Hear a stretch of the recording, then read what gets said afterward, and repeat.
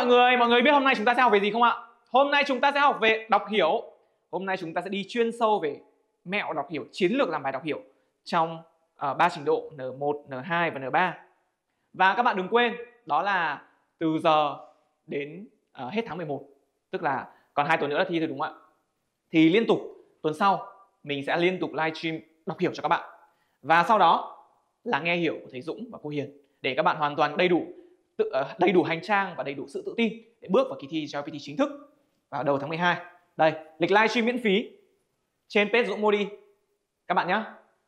Ngoài ra thì chúng ta sẽ có kỳ thi thử GPT online cũng hoàn toàn miễn phí và chúng ta còn hai đợt thi thử nữa để chúng ta xem là ở uh, điểm số chúng ta là bao nhiêu. Rồi.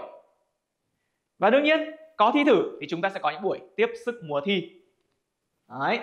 Và hôm nay chúng ta sẽ học về tam bưng. Thực ra bản chất uh, những kỳ thi của chúng ta ấy thì sẽ sẽ có tam bưng này, chu bưng, này, chô bưng, đoạn văn ngắn, đoạn văn trung, đoạn văn dài. Tìm kiếm thông tin và bài so sánh đúng không ạ? So sánh và tìm kiếm thông tin thì nó là những bài rất là đặc biệt rồi. Còn đoạn văn ngắn, đoạn văn trung và đoạn văn dài. Đó thì buổi hôm trước uh, thứ năm cô Thanh còn dạy về tam bưng rồi đúng không? Nhưng về về, về mail bắt đầu buổi này mình sẽ dạy tam bưng và ý kiến chủ quan. Uh, sau đó thì sẽ bắt đầu đến chu bưng. Ý desu hikaku.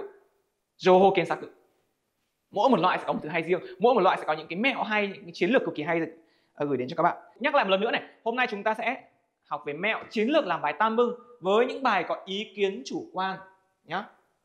Ý kiến chủ quan, ok không các bạn? Ừ ok. Thế nào là ý kiến chủ quan? Ý kiến chủ quan là những bài mà người ta hỏi về ý của tác giả muốn nói gì, tác giả đang nghĩ như thế nào, tại sao tác giả lại nói thế này?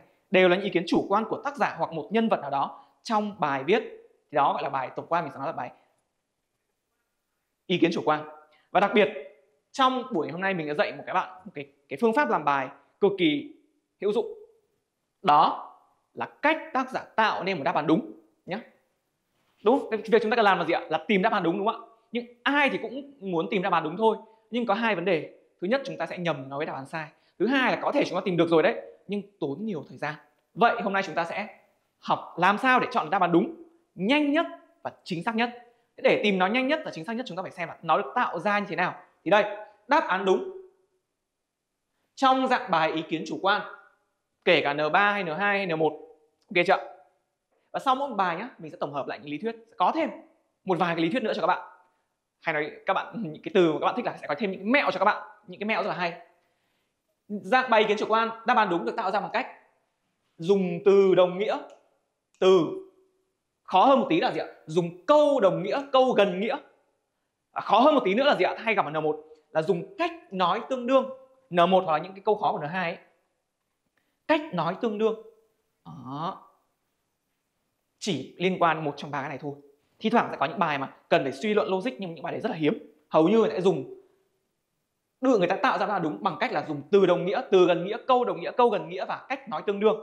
Từng bài một mình sẽ cho những ví dụ cho các bạn. Ok chưa? Đầu tiên này, bây giờ nói lý thuyết thì các bạn bảo, không biết cái cái cái mẹo này nó có tác dụng gì không, đúng không? Không biết nó hay như thế nào. Bây giờ phải làm thì chúng ta mới biết được. Phải làm thử nhá. Nào, hôm nay chúng ta sẽ có một bài n3 hai bài của n2 và một bài của n1 các bạn nhé đầu tiên đi vào bài của n3 mình lấy đề tháng 7 năm 2022 đề thi thật nhá, không phải là bịa ra, không phải lấy trong sách nào. Đề thi thật năm 2022 rồi cho các bạn làm trong khoảng ờ, uh, 3 phút. Bốn đáp án của câu này mình sẽ gửi vào trong phần bình luận và mình ghim. Các bạn quen với cách làm này rồi đúng không? Uh, hôm qua cô thanh đã làm ừ, đã dạy các bạn một cách làm này chắc các bạn quen rồi đúng không? Đây.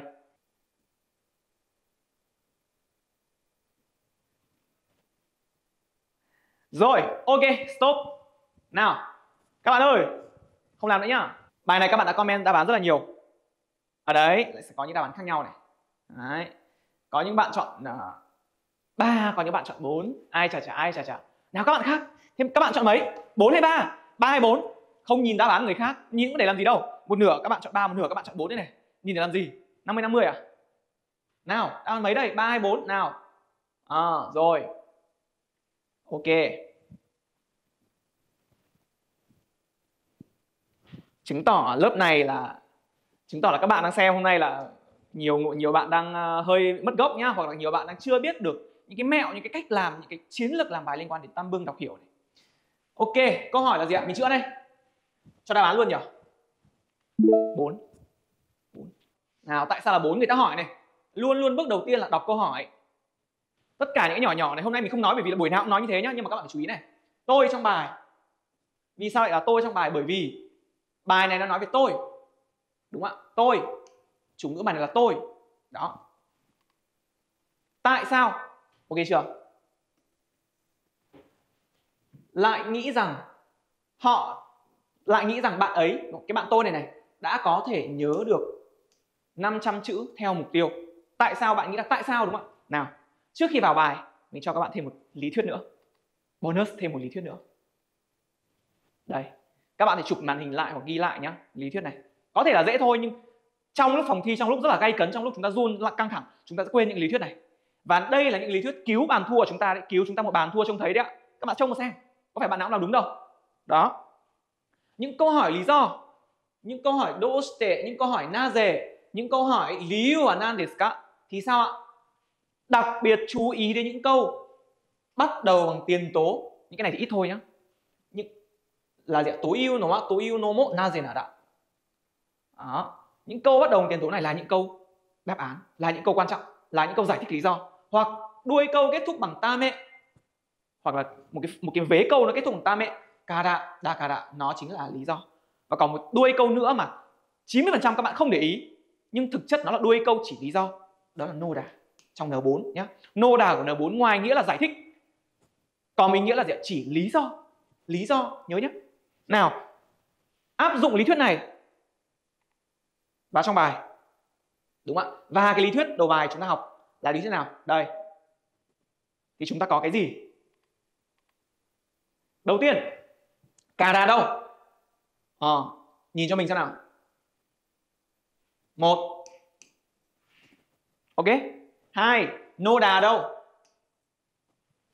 Vậy hai câu này là hai câu quan trọng. Thậm chí tìm được một trong hai cũng có thể tinh ý cũng thể chọn được đáp án nào, thế người ta bảo gì ạ? Câu đầu tiên người ta bảo là gì?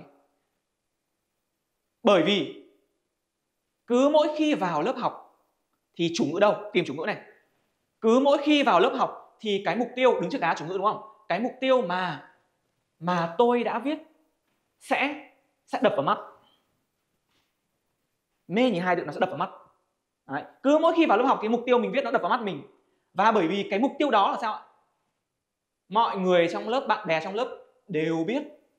Cho nên rất khó để từ bỏ mục tiêu. Đúng không? Rất khó để từ bỏ mục tiêu. Đúng chưa? Đúng rồi.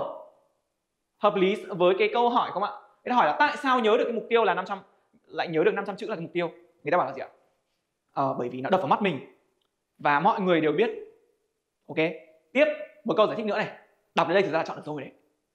Nhưng mà ok cứ theo lý thuyết đúng không ạ? Cứ có từ nào chúng ta khoanh từ đấy và chúng ta nhìn kỹ câu đấy. Câu này nó bảo là gì? Cái việc gì này, chủ ngữ đây này, cái việc này, cả cái chỗ này, cả cái việc này thì đã rất là đúng.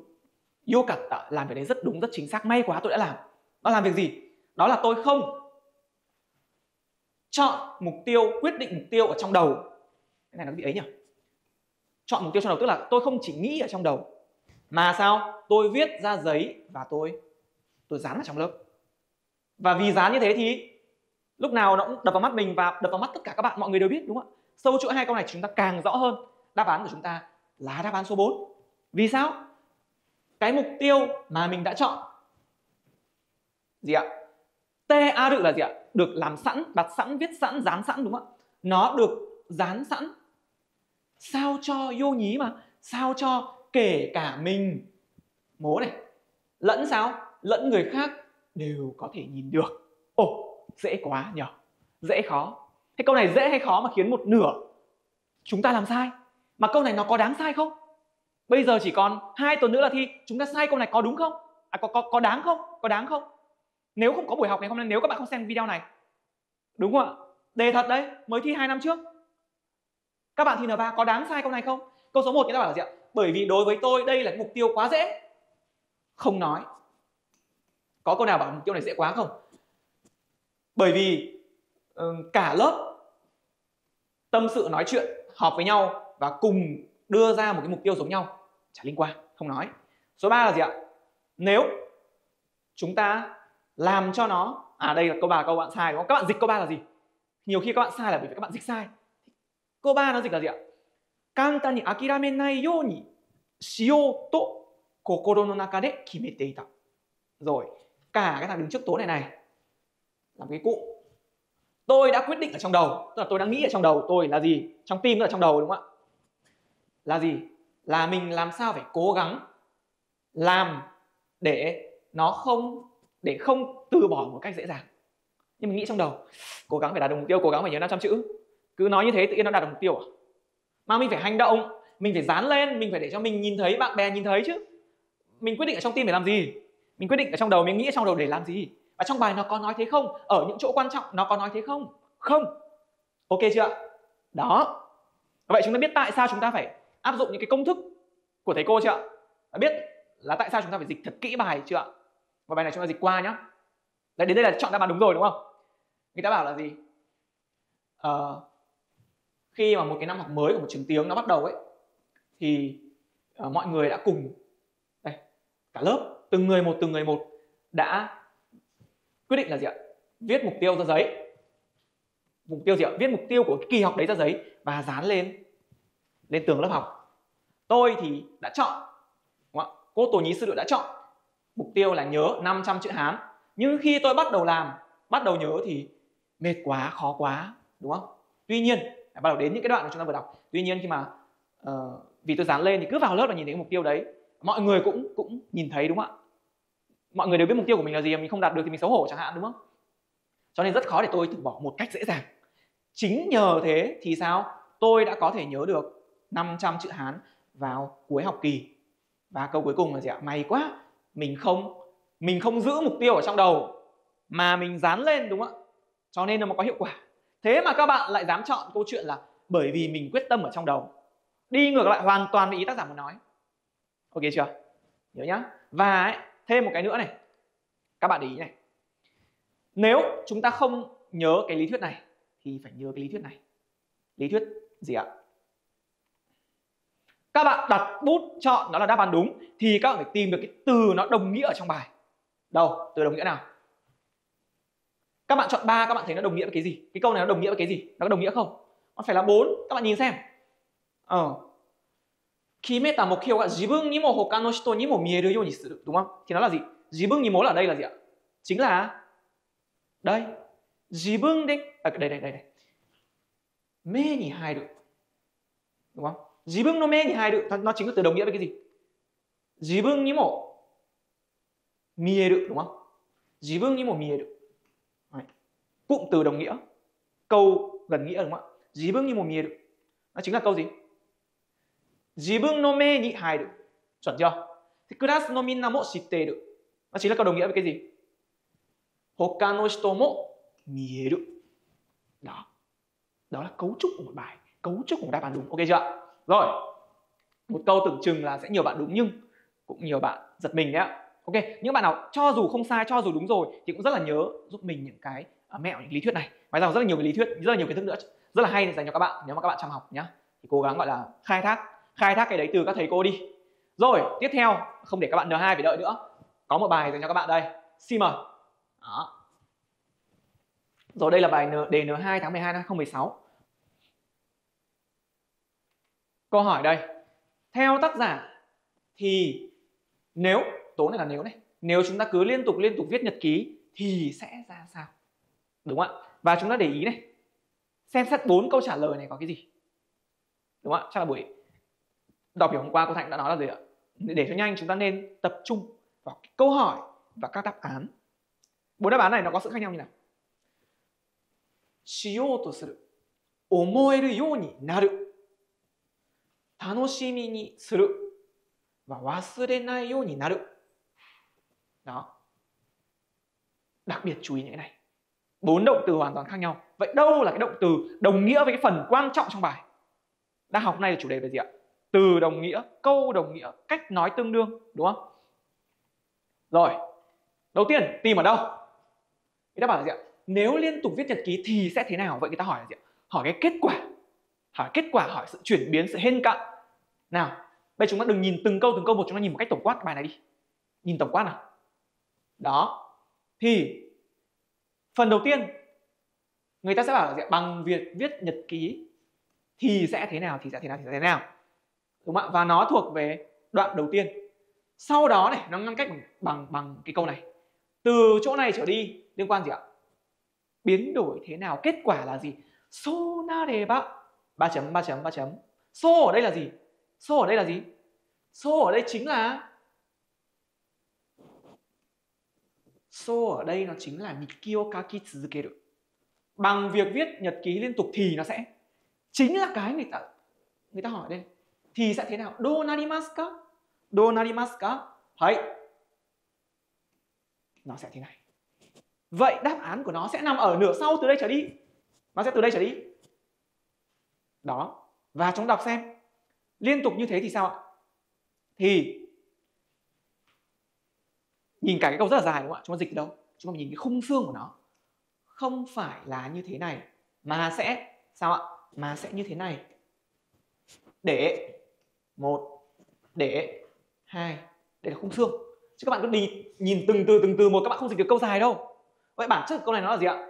Nếu mà như thế thì chúng ta sẽ không như thế này, mà chúng ta sẽ như thế này. Để để để mình lắp cái khung xương đấy vào mình dịch nhá. Nếu mà như thế thì chúng ta sẽ không chỉ có ngồi đợi một cái ngày tốt đẹp đến một cách ngẫu nhiên, mà chúng ta sẽ làm sao? Mà chúng ta sẽ hành động một cách chủ động để làm sao cho một ngày của chúng ta ngày hôm nay của chúng ta sẽ trở thành một ngày tốt đẹp. Và để làm sao nữa? Để hôm nay chúng ta có thể viết vào nhật ký rằng hôm nay của tôi là một ngày tốt đẹp.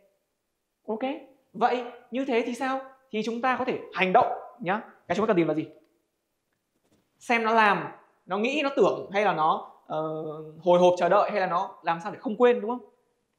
Hành động một cách chủ động để hôm nay trở thành ngày tốt đẹp, để hôm nay có thể viết nhật ký rằng hôm nay là ngày tốt đẹp, đúng không? Vậy nhìn một phát là biết gì ạ? Đáp án đúng phải là đáp án làm. Khi liên tục viết nhật ký thì mình sẽ trở nên sao? Hành động, cố gắng hành động để hàng ngày là những ngày tốt đẹp. Đúng không? Và từ siêu, tức từ sư đự từ sư đự là từ đồng nghĩa của từ cô đô nhé, đều nghĩa là làm hành động. Sư đự là đồng nghĩa của từ cô đô sư đự ok chưa vậy chúng thấy chúng ta chỉ cần đọc nửa. Và cái cách chúng ta chọn đáp án đúng nó cũng rất đúng. Nó cũng rất gọi là nhanh và chính xác. Khi chúng ta dựa vào những cái cách nói những cái từ đồng nghĩa những từ gần nghĩa. Ok chưa? Đó. Ok. Nhá. Phần trên mình sẽ không dịch nhá. Các bạn N2 rồi phần này cũng dễ thôi. Thôi mình cứ dịch qua nhá. Cứ dịch qua này việc chủ ngữ này. Ngày hôm nay à không, xin lỗi, một ngày như thế nào được gọi là ngày tốt thì chắc sẽ khác tùy định nghĩa của mỗi người. Nhưng nếu chúng ta liên tục viết nhật ký thì chúng ta sẽ hiểu rằng đối với bản thân chúng ta thì điều kiện cấu thành một ngày tốt của ta, một ngày đẹp của ta là ngày như thế nào? Để chúng ta liên tục viết nhật ký. Và chúng ta sẽ biết được cái gì ạ? Làm cách nào thì một ngày của chúng ta sẽ thành một ngày tốt? Và như thế thì đằng sau vừa nãy dịch rồi. Ok chưa? Đấy. đó. Các bạn nhé đáp án một nhé từ đồng nghĩa nhé Đấy. tiếp theo một bài nữa của N2 rồi hôm nay N2 tận hai bài. Trước khi vào mình sẽ tặng các bạn một cái phao, tặng các bạn một cái phao luôn tặng một cái mẹo. Đó là những câu hỏi y tai cô tổ những câu hỏi kangai ni ao những câu hỏi một tô một style tai của tổ thì phần quan trọng nằm ở câu cuối hoặc những câu cuối. Đấy để ý nhá. Rồi xin mời. Các bạn N2 các bạn N3 nên làm nhé các bạn N3 nên làm thử những bài này để xem là gì. Ở ờ, áp dụng cái cái cái phương pháp mà cái ông thầy này ông ấy nói. N2 mình có làm được không? Thậm chí các bạn áp dụng cảm các bạn mình đảm bảo là các bạn N3 cũng làm được bài của N2 luôn. Đây là đề thật đây. Tháng 12 năm 2023 mới năm ngoái còn những bạn N1 thì đợi xong bài này sẽ đến phần đến cái ví dụ các bạn nhé các bạn có thích làm ờ, theo kiểu như này không? Nếu mà thích thì comment nhé hoặc là like hoặc là share nhé để thầy biết. Để còn làm cho đưa cho các bạn nhiều mẹo. Không biết có nên đưa nhiều mẹo nhỉ? Không biết có nên uh, hay là giấu bài nhỉ? Giấu bài một tí chia sẻ nhiều quá các bạn biết nhiều quá. Có thấy các bạn comment với tim đâu? Ok. Bắt đầu chưa các bạn nhá. Đây nó là đề năm ngoái là gì nữa là 2 tháng 12 năm 2023 nào nhìn lại. Cái mẹo vừa rồi mình vừa nói nào. Ok. Thế thì bây giờ này cái mình không bảo là ừ cứ cái câu hỏi này chỉ cần đọc một vài câu cuối cùng thôi không nói đến mức cực đoan như thế đâu nhá. Tức là phần quan trọng là phần mình cần đọc kỹ. 8 90 phần trăm đáp án nó nằm ở đấy. Sẽ có những cái uh, lê gai những cái ví dụ những cái cái ngoại lệ 10 phần trăm 20 phần trăm nó không nằm ở đấy nhưng thường 90 phần trăm nó nằm ở đấy đúng không thì với bài này nếu vẫn áp dụng cái mẹo này thì chúng lại chú ý cái gì ạ chúng ta sẽ chú ý những câu cuối cùng thực ra phải bài với bài này với bài này cần mỗi câu cuối cùng rồi này đó ok chưa người ta hỏi gì interview について筆者の考えに合うのはどれですか ồ 考えに合うđúng không ạ đâu là cái câu đúng với hợp với suy nghĩ của tác giả đúng không đấy Chủ đề hôm nay ý kiến chủ quan làm gì nữa? Ok, nó là đáp án số 1 chính xác. Tại sao lại là một nhỉ? Ừ. nó đều nói về bây giờ này đều có bốn, cả bốn câu đều gì? Ừ. đều phần chung. Hmm, cái keyword, câu quan trọng ngoài việc chúng ta lấy ở trong câu hỏi, thì những cái phần lặp đi lặp lại bốn đáp án cũng là một phần cực kỳ quan trọng để chúng ta soi vào trong bài xem câu nào là chúng ta câu chúng ta cần đọc đúng không ạ? Trong bài nó có từ chuẩn bị chuẩn bị à, chuẩn bị. Thì theo các bạn chuẩn bị cái sự chuẩn bị trong một cái việc interview nó chuẩn bị cái gì? Chuẩn bị câu hỏi chuẩn bị cái gì? Chuẩn bị câu hỏi đúng không ạ? Thì nó sẽ nói một từ đồng nghĩa là gì? Là tsugi no shitsumo tsugi no shitsumo nó chính là chuẩn bị. Vậy đáp án đúng là sao ạ? Tạo ra bởi cái từ đồng nghĩa mà. Đó chẳng qua câu này nó nó nó nó viết hơi khó hiểu, nó hơi khó dịch một tí thôi là các bạn sợ, đúng không ạ? Người ta bảo là gì? Một, cuộc phỏng vấn cái buổi interview tốt sẽ là thứ chỉ có thể, đúng không ạ? Hashimete này này. Hashimete ngoài cái nghĩa là gì ạ? Lần đầu tiên, còn nó nghĩa là gì ạ? Nó được thực hiện chỉ khi một cuộc interview tốt được thực hiện, chỉ khi, làm sao ạ?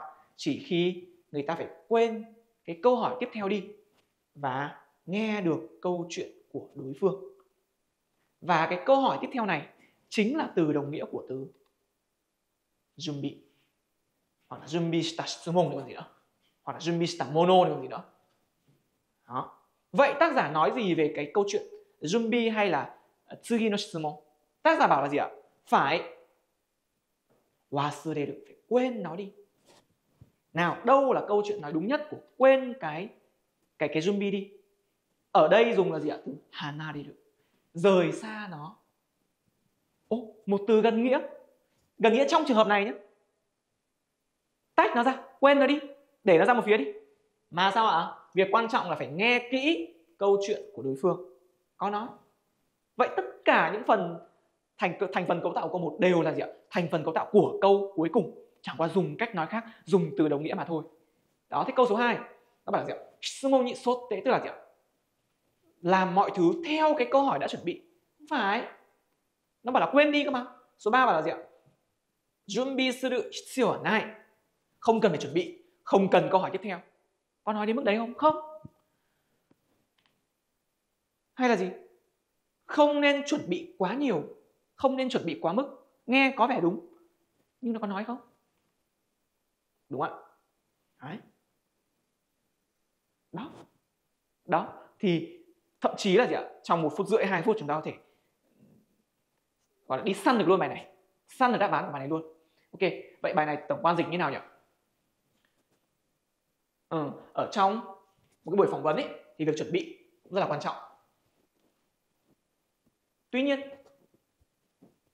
khi thực tế phỏng vấn thực tế thì tạm thời ít tăng là tạm thời này.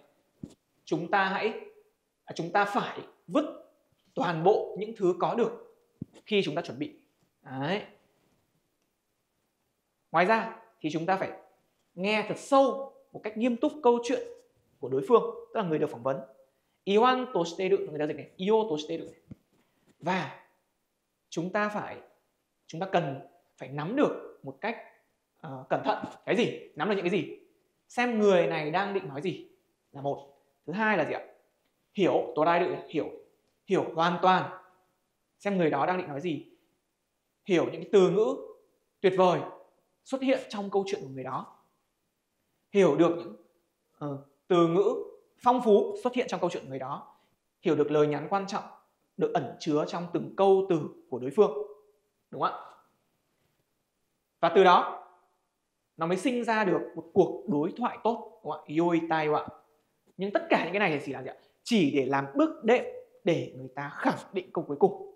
Ok chưa cái câu thể hiện ý của tác giả muốn nói, và chính là câu giúp chúng ta chọn được đáp án số 1 ok chưa chúng ta thấy rất là nhanh, nhưng mà nhanh phải đúng. Chứ còn nhanh mà sai thì thà chậm một hơn, đúng không? Quan trọng là phải đúng, các bạn nhé. Rồi, vậy mình nghĩ là thông qua hai câu hỏi này là những bạn N2 cũng gật gù rồi đấy phải thử đi. Thế bây giờ ngược lại những bạn N2 này. Thử câu N1 xem. Và những bạn N1 thử xem bài này mình có làm được không? Đề N1 tháng 7 năm 2018 nhé tất cả đều là đề thật. Nhớ lại tất cả những cái uh, gì ạ? Mẹo những cái chiến lược cách làm mình vừa nói cho các bạn. Và làm câu này. Câu này nhá là một câu thuộc dạng khó đấy của đề N1 nhưng nếu chúng ta tinh ý mình sẽ chỉ cho các bạn cách làm đúng được nó. Các bạn nào ờ, N2 hoặc N3 thì cố gắng ở đến cuối giờ nhé chúng ta sẽ tổng kết lại một tí. Câu này khó mà. Nhưng mình vẫn làm cho các bạn thấy nó dễ. Thế mới hay. Tức là nó khó thuộc, tức là trong các câu N1 nó là câu khó đấy. Chứ không phải khó với N2 đâu nhé nó là câu N1 và trong các câu của N1 nó thuộc dạng loại khó đấy. Rồi. Câu hỏi à vẫn là câu hỏi này vẫn là câu hỏi này. Vậy câu này thì sao ạ? Tập trung vào đâu? Tập trung vào câu cuối cùng. Một, nếu một câu cuối cùng hoặc một vài câu cuối cùng nhé với câu này này. Đây, với bài này chưa quên câu này là câu quan trọng nhất. Bạn, hỏi ngược lại các bạn. Câu này đồng nghĩa với câu nào trong bốn đáp án này? Dễ không? Dễ. Khó không? Cũng khó. Đấy cả một bài đọc hiểu to đùng. Nó chỉ là gì ạ? Câu này đồng nghĩa với câu nào trong bốn đáp án này? Một mục tiêu thì không cứ phải có. Không có cũng được, có cũng được, không có cũng được. Số 2 là gì ạ? Có mục tiêu là điều đương nhiên. Số 3 là gì ạ? Mục tiêu không phải là thứ mà cứ muốn có là có được. Thứ tư là gì ạ? Kể cả có mục tiêu chăng nữa thì chưa chắc. Tôi ở Kagira này đó thì chưa chắc đã thành công thì khi các bạn đọc câu này, thường một vài bạn đã bỏ cuộc rồi. Tức là chưa bắt đầu đã bỏ cuộc rồi vì sao? Từ khó kemo rồi là từ consensus. Nó dịch ở đây rồi, nhìn thấy khó sợ. Thậm chí các bạn không dịch được câu này, cũng sợ. Đấy, nhưng mà mình chỉ cho các bạn này. Quay lại, lý thuyết đầu tiên của buổi ngày hôm nay là gì ạ? Thực ra nó khó đến đâu thì khó khó đến mức nào thì khó, bài khó của n1 đi chăng nữa n0 đi chăng nữa, thì nó vẫn phải theo một nguyên lý rằng câu hỏi à, xin lỗi đáp án đúng được tạo ra từ từ gần nghĩa từ đồng nghĩa hoặc câu nói gần nghĩa câu nói tương đương. Thế chúng ta chỉ cần tìm nó là được. Bây giờ này đầu tiên người ta bảo là gì ạ? Đầu tiên nhé chủ ngữ của câu này là gì? Để dịch câu này chủ ngữ nó là gì? Chủ ngữ đâu? Không có. Vậy nó phải lấy chủ ngữ ở câu trên. Vậy chủ ngữ câu trên là gì? Mục cư hiệu đấy chủ ngữ là mục tiêu. Vậy đây là chủ ngữ câu này mục tiêu, nó là tiền đề. Gen tệ à nhiều bạn không biết từ này, đúng không? Từ này thực ra n hai nhá. Hỏi các bạn n hai đây mà xem có đúng từ này n hai không?